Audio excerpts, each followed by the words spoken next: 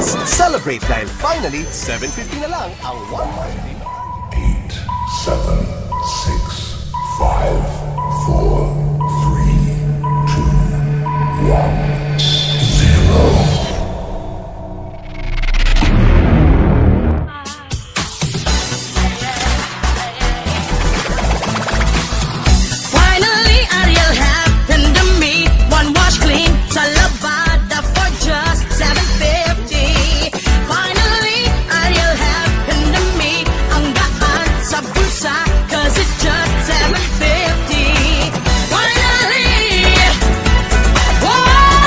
Pilipinas, celebrate dahil finally, 7.50 na lang ang one wash cream ng Ariel.